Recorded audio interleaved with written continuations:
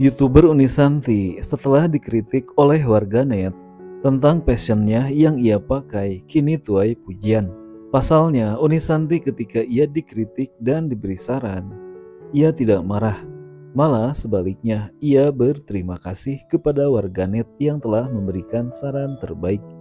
Di samping itu, saran dari warganet, kini Unisanti sudah terapkan di blog terbarunya yang ia unggah ke publik. Terlihat Unisanti sudah tidak memakai celana pendek lagi ketika bepergian ke tempat resmi atau penting, seperti ke kantor dan lain sebagainya. Menariknya, dalam episode yang akan datang, Unisanti akan tampil menggunakan kebaya, sebab diundang dalam acara spesial di Padang.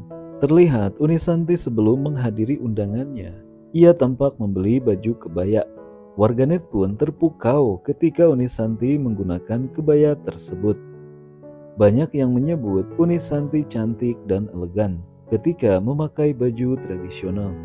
Itulah ulasan kali ini terkait YouTuber Unisanti yang kontennya selalu dirindukan para penggemarnya.